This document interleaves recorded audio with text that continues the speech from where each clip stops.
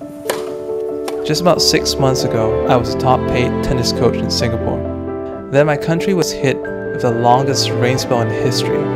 All classes were cancelled. My business was bleeding fast. And then my son was born. I had to downgrade to a lower hospital class. And it kills me knowing that I'm giving my loved ones less than what they deserve. I maxed out five credit cards and credit lines. I was at rock bottom.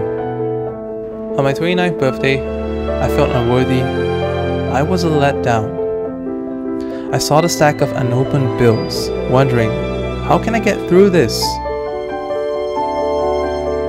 And then my daughter came running to the room.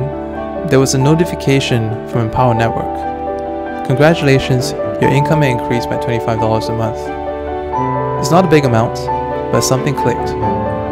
What if this is my answer?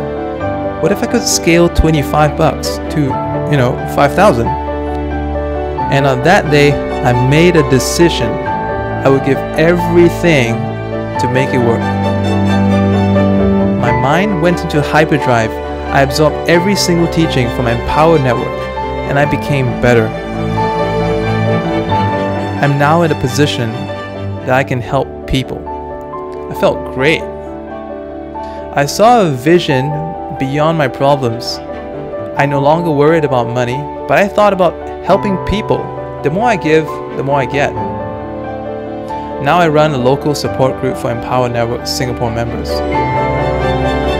That became my vision, changing people's lives with their financial goals.